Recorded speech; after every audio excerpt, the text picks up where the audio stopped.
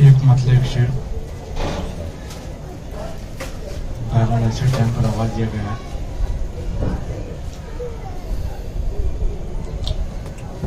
जनाब मोहतरम सलवर नवाब साहब का एक मतलब शेर याद आ गया मुझे।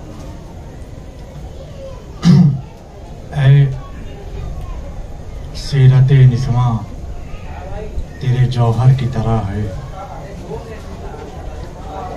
ऐ सीरत निसवा तेरे जौहर की तरह है। जो कौल है जैनब का वो जेवर की तरह है। ऐ सीरत निसवा तेरे जौहर की तरह है। जो कौल है जैनब का वो जेवर की तरह है। फर्शे गम शबीर बिछाते थे मकामे। अब कब्र में आराम हमें घर की तरह है। फर्शे गम शबीर बिछाते थे मकाम। में अब कब्र में आराम हमें घर की तरह है। हज़रत, ये काफ़ी जगह है जो जगह खाली इसको भी थोड़ा भर दिया आप लोग। आगे आ जाइए, काफ़ी जगह है यहाँ पे। मोहम्मद और मोहम्मद सलवात दम बदम बर गुल रुखसार मोहम्मद अली शीर खुदा सलवात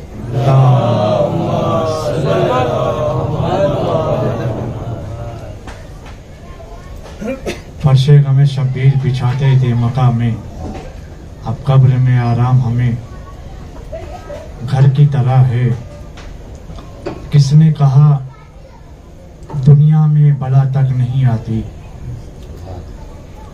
देखिए, बात अगर पहुंचेगा तो बोलिएगा ज़रूर। मस्जिद में आए हैं आप लोग तो खामोशी अच्छी नहीं है, क्योंकि मौलाए कायनात ने खुद फरमाया है, बोलो ताकि पहचाने जाओ।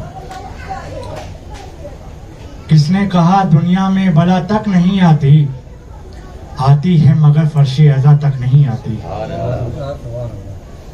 किसने कहा दुनिया में भला तक नहीं आती? आती है मगर फर्श अजा तक नहीं आती। मौला मेरी इमदाद को पहुँचे हैं वहाँ भी जिस कब्र में हल्की सी हवा तक नहीं आती। मौला मेरी इमदाद को पहुँचे हैं वहाँ भी जिस कब्र में हल्की सी हवा तक नहीं आती।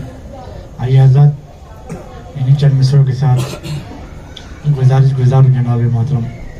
फजल आजमी साहब से यहाँ तशरीफ़ लिया है, बारगाह मौला में अपना कलाम पेश करें। कफन करबो बला का साथ में खाके शिफा लेकर।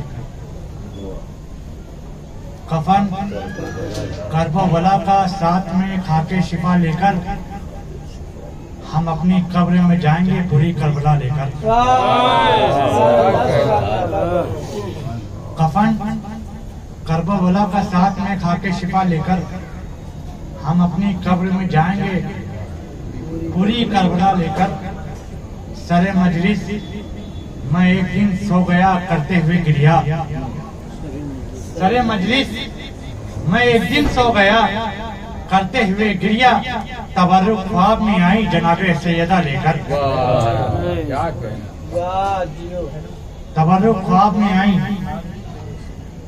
जनाबे सैयदा लेकर आइए हजरात इन्हीं चांदों के साथ मैं हरफ इल्तमास लेके उनकी तरफ आगे बढ़ता हूँ मैं बड़े ही अदब एहतराम के साथ गुजारिश गुजार हूँ जनाब मोहतरम हजरत इस्लाम और मुस्लिम अली जनाब मौलाना सकते हैं मुफ्ती साहब से कि एक बार तशरीफ लें और अपनी मजलिस को खिताब करें और मोहम्मद वाले मोहम्मद सल्लल्लाहु